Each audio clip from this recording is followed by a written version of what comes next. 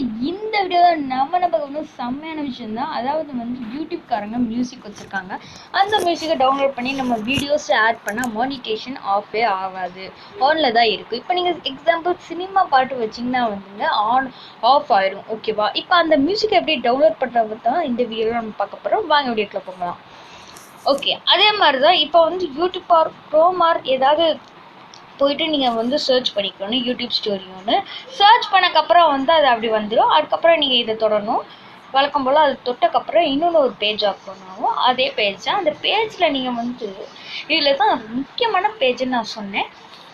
இதில் நீங்கள் என்ன வேணால் பண்ணிக்கலாம் ஃப்ரெண்ட்ஸ் அதாவது நீங்கள் வீடியோ டெலிட் பண்ணிக்கலாம் யூடியூப்பில் வந்து இது பண்ணிக்கலாம்.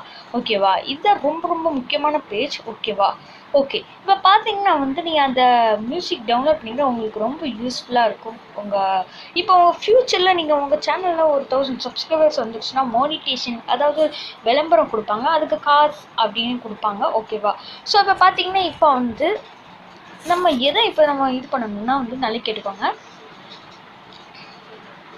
இந்த இருக்க பாருங்க ஒரு மியூசிக் படம் போட்டு அதை நீ தொடணும் ஓகேவா அதை நீ தொட்டால் தான் அதோட அதோட பேஜ் ஓப்பன் ஆகும். ஏன்னா நம்ம அப்போ அதான் அதுக்கு பேர் ஆடியோ லைப்ரரி ஓகேவா அந்த பேஜில் நீங்கள் கேட்ட எல்லா மியூசிக்கும் இருக்கும் எக்ஸப்ட் சினிமா பாட்டு தவிர ஓகேவா சினிமா பாட்டு மட்டும் இருக்காது. நீங்கள் உங்கள் உங்கள் சாய்ஸ் தான். யூடியூப்பில் இந்த மியூசிக்கை ஆட் பண்ணிக்கலாம் இல்லைன்னா சினிமா பாட்டும் ஆட் பண்ணிக்கலாம்.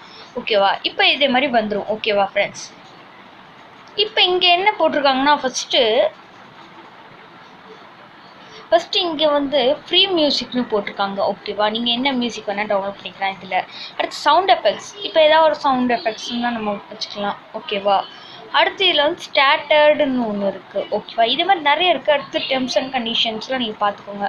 ஓகேவா இப்போ பார்த்தீங்கன்னா வந்து எக்ஸாம்பிள் நான் உங்களுக்கு இப்போ இந்த இது இந்த இது நான் உங்களுக்கு டவுன்லோட் பண்ணி காமிக்கிறேன். ஓகேவா இப்போ பார்த்தீங்கன்னா ஃபஸ்ட்டு இதை வந்து ப்ளே பண்ணணும்.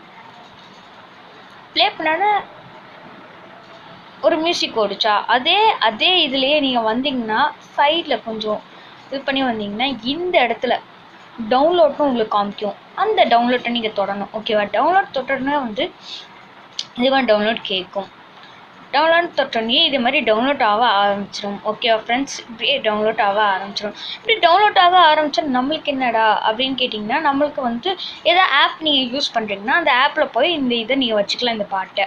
அதுக்கப்புறம் உங்கள் வீடியோஸ்க்கு மானிட்டேஷன் ஆன் ஆயிடும் ஓகேவா நீங்கள் சினிமா பாட்டு வைக்கிறதுக்கு பதிலாக இதுவே நீங்கள் வச்சுக்கலாம். இப்போ பார்த்தீங்கன்னா இங்கே பாருங்கள் இது வந்து டவுன்லோட் ஆயிடுச்சு. ஓகேவா அவ்வளோதான் தேங்க்ஸ்